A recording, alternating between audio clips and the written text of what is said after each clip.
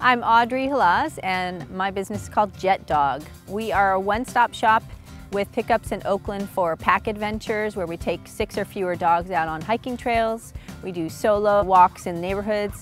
We also do dog boarding or pet sitting in your home and training. We have a small team of really amazing dog walkers and professionals who take care of your dog. We become basically like family as caregivers for your fur baby.